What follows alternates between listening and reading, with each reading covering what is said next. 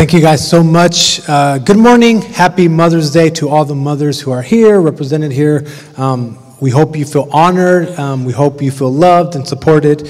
Um, we love moms around here. And today we're going to be talking about something that moms, you know all about. You have like a special sense when it comes to this. Uh, today we're going to be talking about a word I personally distaste. Um, it's the word uh, disciplines. We're going, going to be talking about disciplines. And uh, disciplines are the things that you're supposed to do that you don't want to do. Things you're supposed to do that you don't want to do. So when I was a little kid, um, my mom wanted me to develop into a nice, polite, courteous boy. So she would tell me on Monday, Rey, um, go wash your hands before dinner. And then on Tuesday, she would say, Rey, go wash your hands before dinner. And then on Wednesday, go wash your hands before dinner. Ten years later, Rey, go wash your hands before dinner. And she did this over and over and over. And it was a discipline for me, it was for her. She had to remind me because she wanted me to develop into someone who, if I go to dinner with someone, I'm going to wash my hands before dinner. And that's just one example, right? I had to say thank you, say excuse me, say you're welcome, say please, make your bed, do the dishes, eat your food, uh, don't hit your sister. I mean, all these things that as a grown up I'm supposed to do automatically. And for the most part, I would say nine out of 10, um, I've picked them up. I wash my hands now. I say thank you. I say please. You look nice today. How's the weather? I can do all those kind of polite, courteous things that. Um, nice people are supposed to do. So my mom did a good job on that part. Um, but as an adult, I've noticed that there's other areas of my life that I need discipline. You know, I read a book, I see something, I notice something, I go to the doctor, something comes up, and I notice that I need discipline in some area, and there's things that I should do that I don't want to do. And that's why whenever I hear about something in this discipline area, I get kind of stressed or anxious because it's kind of all exhausting. It's tiring when you hear about all the areas of our life where discipline is required, right? I mean, here's just a list that I made. Um, you need to get up earlier. You need to get to bed earlier. You need to eat less, eat healthy, exercise, save more, spend less, budget better, more one on one with your kids, more time with your wife. Make sure you call your mom. Make sure you, I mean, the list goes on and on and on. And who really has time to do all of that? And, and, okay, you try. Let's say you make an effort. Okay, I'm going to try to be disciplined. I'm going to eat healthy. I'm going to wake up early, and, I, and I'm going to call my mom on Mother's Day. Those are things we should do, right? We work on that. And then, I don't know about you, but you meet someone who is way more disciplined than you. Like they have it much more together than you do. And, and kind of you, part of you is kind of inspired. You're like, wow, this is cool. They did it but the other part of you wants to kill them and you're annoyed by them because, you know, it's seven o'clock in the morning, you're just rolling out of bed and they're jogging with their dog and pushing a stroller at the same time. They've already done half a day's work and they tell you they don't need coffee, they just wake up energized. And um, I hate those people, I'm sorry. They're just annoying. Nobody likes them. Um, don't if you don't need coffee, just don't tell anyone. Just pretend. Pretend it's coffee. Just drink it. Um, anyways, um, we all we all know that and we feel that way because there's a sense and no matter how disciplined we are no matter where you're at there's always someone who's a little bit more disciplined and when you compare yourself that you that kind of points out your weaknesses, and we all have weak areas. So, I mean, disciplines in general, they're just hard, they're difficult. Um, the thing about disciplines is that they require discipline. And that's the hard part determination, commitment. They're, they're just difficult things. But at the same time, we know they're in some areas of our life. That's exactly what we need. We need to be disciplined in that area. So here's a couple observations I want to point out before we get into what Jesus says about this. Um, here's a couple things I've noticed about disciplines over time. So um, here's interesting thing. Number one, over time, these disciplines that you hate, that you dread, that you can't stand, that are frustrating, over time, these things can become a pleasant habit. Over time, something that you started off hating, you do it and you do it, and then over time it becomes a hobby, something you enjoy. For some people, it even becomes an obsession. That's just something that happens with disciplines, right? So you've met people who, who do exercise, they jog, they run, CrossFit, weights, whatever it is, and they had an appointment with their doctor. The doctor said, You need to get in shape, so they make you start working out. You get your gym membership, you start going, and at first you hate it it's the worst thing. You're so mad. You're grumpy. You're in a bad attitude about it. You're just doing it out of sheer determination and you're going. And at first, you're making up every excuse why not to go jogging. It's too cold. It's too hot. It's raining. It's too dry. This outfit doesn't match. My shoes are uncomfortable. And you're just, these are all the excuses I've used in the past. That's why I just thought of them real quick. You come up with all these excuses of why not to do it but you do it anyways. You do it anyways. And then over time, something happens, and you're not exactly sure when, but over time, something clicks, something flips and, and something you hated, you begin to enjoy, or, or, you don't mind it, and then you enjoy it, and then you start loving it. And there's people now, I'm not one of them, so don't ask me, but there's people here who are like that regarding exercise. You talk to them, and they love it. They get energized by it. They look forward to it. They can't wait to get to the gym. They can't wait to put on their running shoes. Um, and this discipline turned out to be something that became a pleasant habit. That's my first observation. My second observation about discipline, and this one's actually good news, is that um, discipline, disciplines, if you, you do them over time, um, they're always going to result in progress. If you decide to be disciplined in any arena of your life, you name it, whether it's finances, your health, your eating, your family, if you decide to be disciplined in that area over time, you're going to see results. You're going to see some level of progress. Um, if you decide to eat healthy for a long period of time out of discipline, you're going to have, be healthier. If you decide to spend quality time with your kids over time, that's going to result, prog- you know, you're going to see progress in your relationship with your kids. I mean, that's good news. The best part about that observation is this it doesn't even matter what kind of attitude you have. You could be grumpy and mad and complaining the whole time you're being disciplined. Even if you have a bad attitude, you will st- you'll still see progress. So I'm getting up every day and I'm mad and I'm grumpy. I hate working out. I hate having to run. And I'm, I complain about it. To anyone who will listen, I'll complain. The dogs, the cats, I'm telling them how much I hate running. I'm yelling at neighbors as I run over time, I'm still going to see results because that's the way disciplines work, right? Um, this has happened. You've seen this, right? Like some of you who are musicians, they made you, your parents put you in classes and you started um, going to these uh, guitar classes or piano classes or drumming classes and you hated it and you're like, Mom, please don't make me go. But your mom made you go and you did it anyways. And over time, this thing that started off as a discipline, now you enjoy it and then you love it and then you're TJ and you're leading worship at Washington Cathedral, right?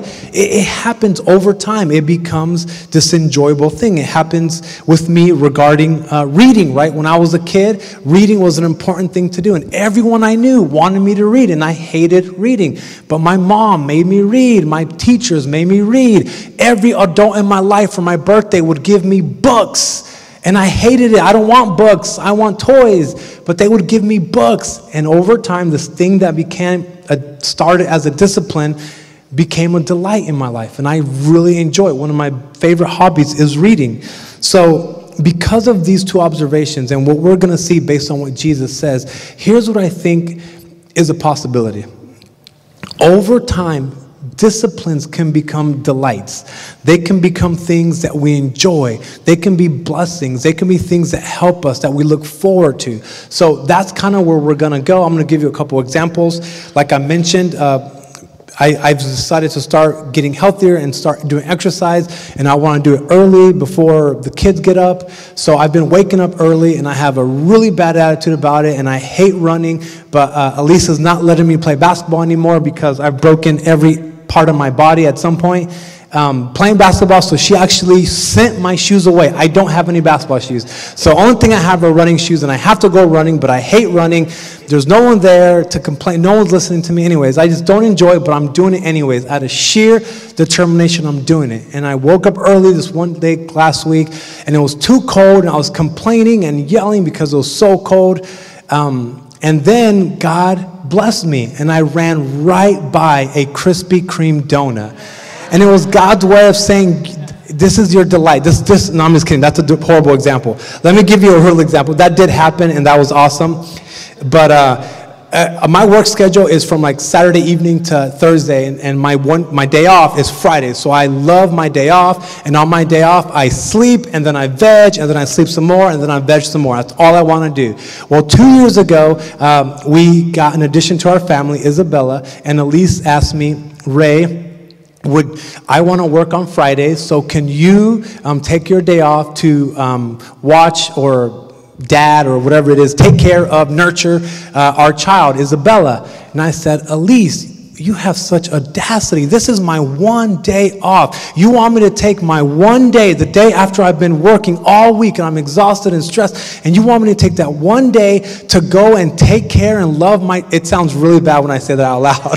I, I, I know that now, but at the time, it didn't sound as bad. And you have to imagine poor Rey doesn't want to do this. This is a one day. And I did it. I did it out of sheer discipline, making myself. I want to sleep in. She wakes up all throughout the night. I got to change her diapers. I got to get her dressed. Um, I got to do whatever she wants to do, watch these shows that are just horrible, and I'm just spending time with her and loving her. And over time, this thing that started off as a delight, I mean, as a discipline, and I love my daughter, that doesn't have to do with that.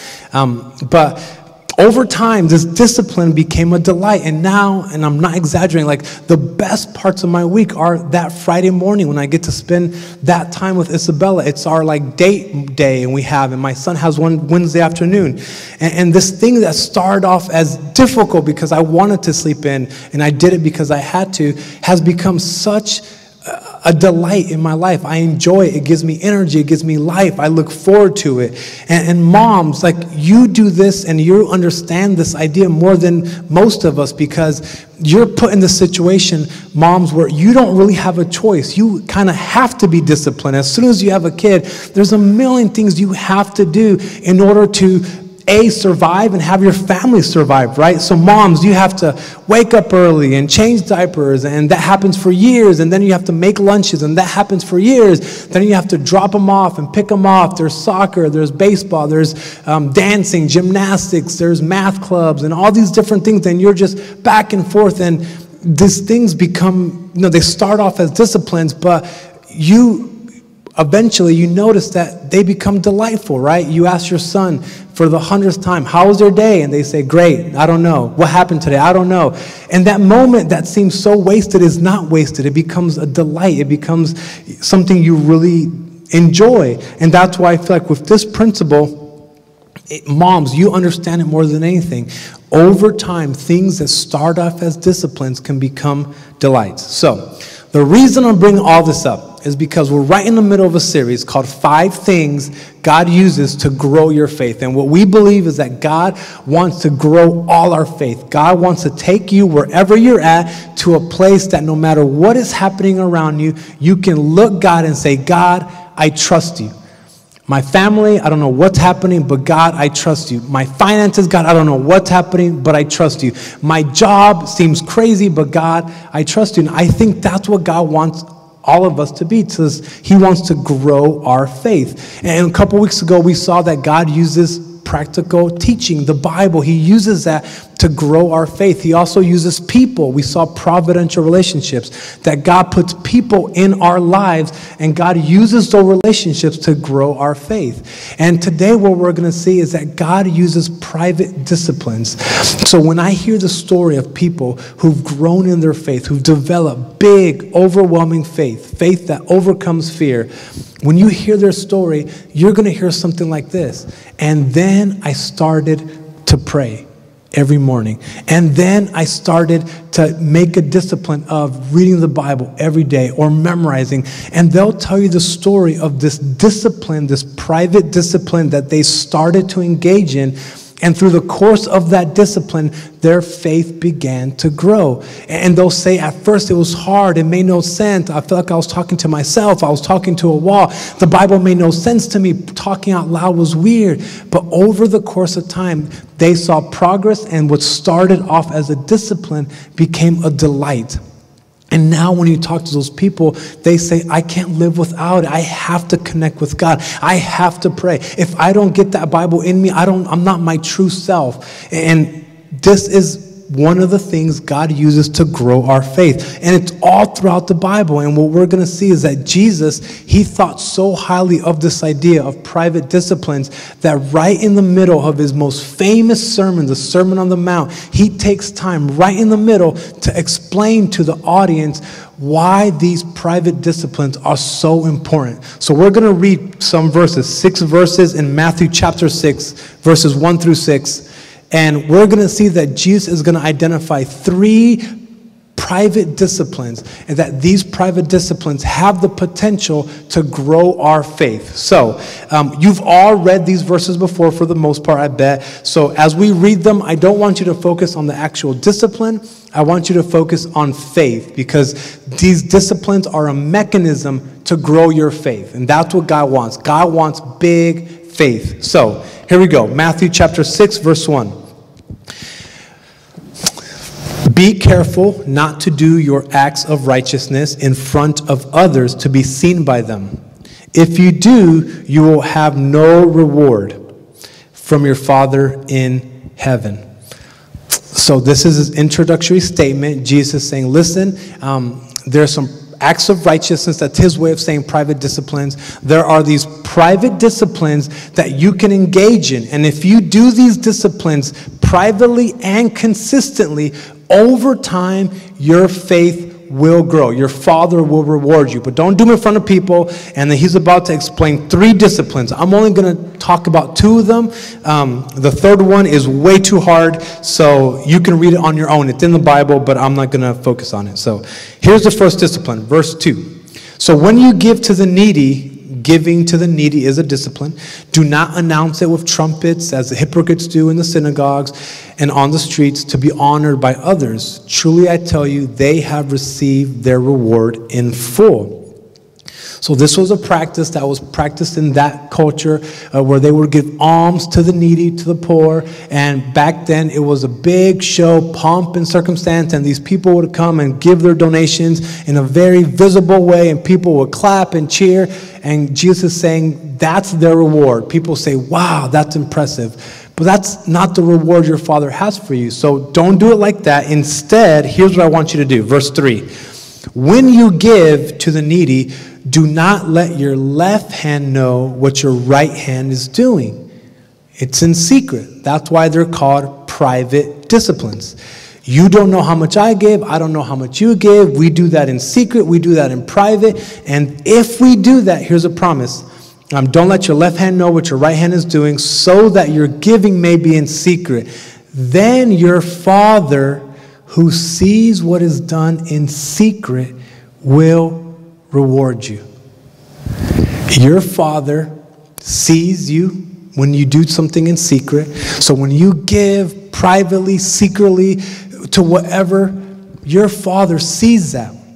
And when he sees that, he knows exactly what you're doing. He knows your circumstances, and he will reward you. That's the promise. And we've seen this acted out a couple times in, in scriptures. You remember that widow who gave a penny, uh, all she had, and people judged her, but Jesus said, Wait a second, you don't know what's going on. My father sees what she did, and she gave all that she had.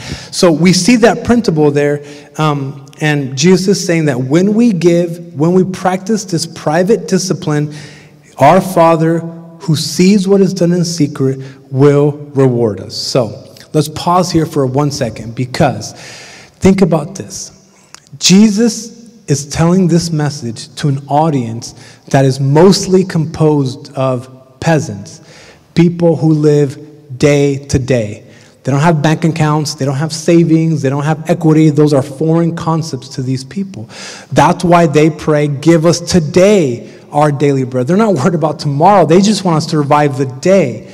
And to these people who are living daily, Jesus says to them, This isn't a money thing. This isn't a giving thing. This isn't about your stuff. This is a matter of faith.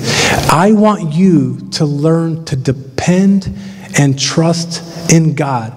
And by practicing this discipline, discipline privately, you can say, you know, non verbally, God, I trust you. So for Jesus, this isn't about giving, this is about faith. He wants to grow their faith and he wants them to learn to depend, to trust in God. And to, for these people to give anything, that was a huge act of faith. That was their way of saying, okay, God, I'm giving this and I'm worried about what's going to happen, but I trust you. And over the course of time, as they practiced that discipline, God would grow their faith. So it's God's way of saying to them, Do you really believe your heavenly Father, who's unseen, sees you when you give? Do you trust him? Do you trust him with your stuff? Do you trust him to provide? Do you trust him? And as they wrestle with that question, God would grow their faith. And that's the question for us today. This first discipline is Jesus talking about our stuff. Do we trust God with our stuff? So that's the first discipline. Number two, verse 5, he's talking about time now. Do we trust God with our time? So when you pray, do not be like the hypocrites, for they love to pray standing in the synagogues and on the street corners to be seen by others. Truly I tell you, they have received their reward in full. But when you pray, go into your room, close the door, and pray to your Father who is unseen. So, first he was saying, Will you trust God with your money? Now he's saying, Will you trust God with your time? Because we're all busy. Everyone here is busy. Everyone here has a million things to do. And what God is saying to us is that, yes, uh, I know you're busy and time is actually your most valuable asset. You might lose money, you can always make more money. You might lose friends, you can always make more friends, but you can never get back the time you've lost. So that's actually your most valuable asset. And Jesus is saying, I want to, you to take your time and I want you to give it to me. I want you to set aside time, close the door, go off by yourself, and carve out some time to spend with your Heavenly Father. Do you trust God with your time? And when I think about that, it seems crazy because all of us are so busy. Even thinking through these disciplines, we have all those things to do. All of us are so busy, and we're saying, God, don't you know how busy I am? Do you really think I have time to take a few minutes every single day to talk to you who's unseen? Like that requires faith to walk into a room, close the door, and talk to yourself. That's what people in asylums do. And now God is telling us to do that. That seems crazy, but that is what Jesus is telling us. He's saying, God wants you to make this a private discipline. Go off by yourself, close the door, and talk to your Father. And then here's the promise if you give God your time, then your Father, who sees what is done in secret, will reward you. There's a reward. When we make that a discipline to carve out a few minutes to connect with God, to talk with God, to tell Him what we're worried about, to tell Him what we're confused about, to tell Him what, where we need help in. When we take that time to thank Him, something happens. We're rewarded. And Jesus, in both of these cases, He uses the most intimate words possible. Your Heavenly Father, who is unseen, sees what you do in secret. When you go off by yourself and you connect, your Heavenly Father sees that, and the promise is He will reward you. And that's why, for 2,000 years, Christians all around the world, they've been doing this practice of carving out time to connect with God. And if you talk to someone who's been doing it for years and you ask them, What's the reward? How are you being rewarded to by praying to God every single day, you know what they're not going to say? They're not going to say, well, God answers all my prayers now, because that's really not going to happen. They're not going to say, when I pray, I move mountains, because that's not going to happen. What they are going to say is that after connecting with God, after spending those few minutes with God, when they get up to face the day, they're going to say things like this I get up, and I don't know what I'm going to face that day, but I have this uncanny assurance, this complete confidence that I'm not going off to face the troubles of today by myself.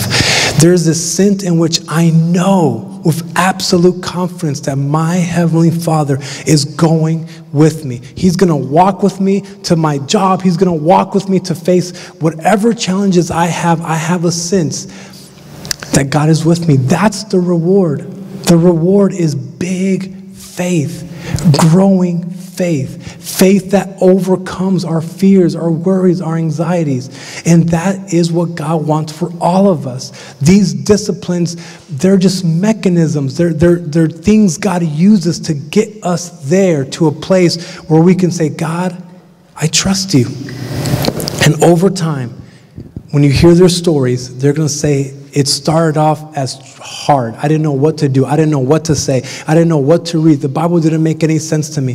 It started off as a discipline, but over time, it became a delight.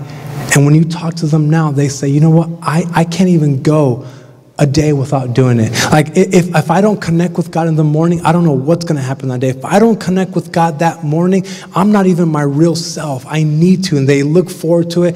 It's become a delight. This discipline became a delight. Jesus is going to continue. He's going to teach us another private discipline called fasting. And fasting, first it was money, then it was time. And this is about our health, our sustenance. And do you trust God with your health? Do you trust God to sustain you? I'm not going to read it. And then he closes this section by teaching us a prayer, the Lord's Prayer. And it's a prayer of delight of saying, Our Father, help us. I need your help. I need, I need to trust you for my daily provision. I need to trust you with guidance. I need to trust you to provide. I need you to, I just need you. It's a prayer of delight. And God uses these five things in many different ways. And the first things we talked about, there are things we have to rely on God for. God has to come through and speak to us through the Bible. God has to put people in our lives. This is the first thing God uses that we can have a role in, that we can be proactive. And the other ones, we can create a potential for God to use. But this is a one where I, you, together, we can proactively make a decision to practice these private disciplines. And if, if we do those, God is going to work with us to grow, to build, to develop, to mature our faith.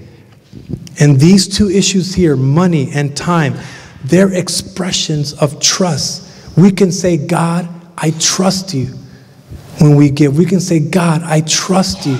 I trust that you control my money. I trust that you control my time. And over time, as we learn to do these private disciplines, God begins to grow our faith. So here's the challenge for us. Here's how I want to end. I want all of us to try this for 30 days. We're going to take one month.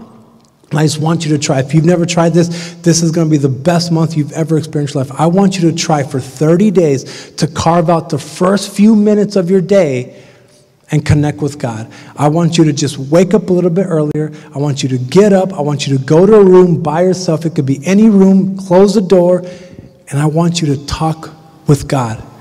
I want you to go over your prayer list. I want you to read the Bible. Just take those first few minutes of your day and connect with God. And I know you're already feeling the tension. I can't. I can use that time to answer email. I can use that time to uh, make breakfast. I can use that time to uh, catch up on Walking Dead, whatever. You can. But, but, if you use that time to connect with God, something's going to happen. That tension you're feeling, I don't know what this does. I don't know what this hap- what, is this accomplishing anything.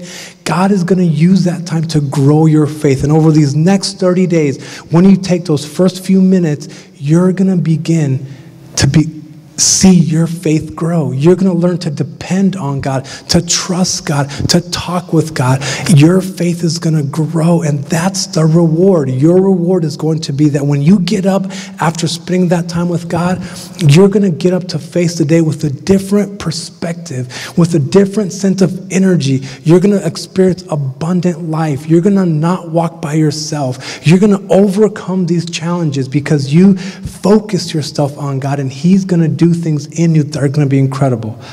So, together, I've challenged every single service, I've challenged everyone, together for the next 30 days, we're going to carve out the first few minutes of our days to connect with God.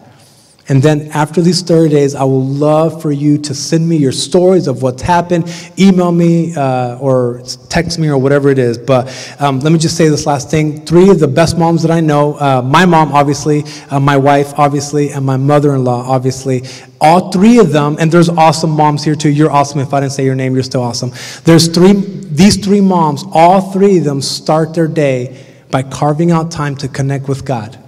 My wife gets a cup of coffee first, but then she connects with God.